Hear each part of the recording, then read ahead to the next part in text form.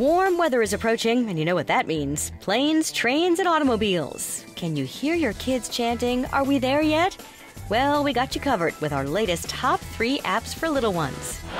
Dinosaur Zoo is for kids with a wild side. In this app, they explore a virtual zoo home to massive ancient reptiles. Tap the screen to animate them.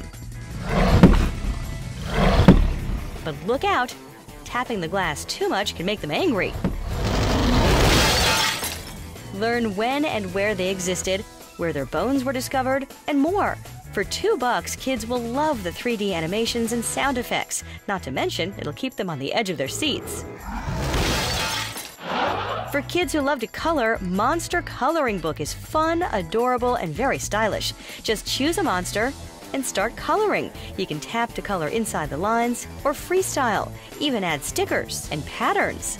There is a free version with enough options to keep the kids occupied, but for three bucks, you get the whole kit and caboodle unlimited monsters, brushes, colors, and more. Timbuktu is the first iPad magazine for kids. The first issue is packed with games, news stories, and fun activities.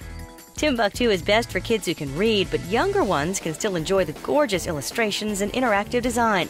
And no doubt they'll come away more enlightened than playing an hour of Angry Birds. Even better, there are no ads and it's free for now. So let your kiddos have fun with Dinosaur Zoo, Monster Coloring Book, and Timbuktu.